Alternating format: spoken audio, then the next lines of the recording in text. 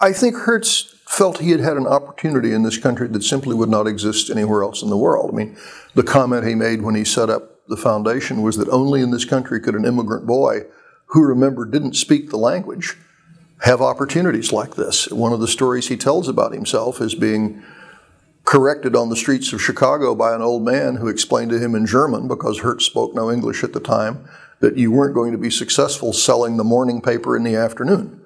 And the fellow bought all of his papers and gave him money and said, now go buy afternoon papers and try to sell them. And he said, who else would have cared about a kid that didn't even speak the local language?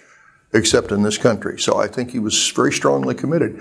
But you also have to remember, and remember 1947, I grew up in the, the segregated South in Texas.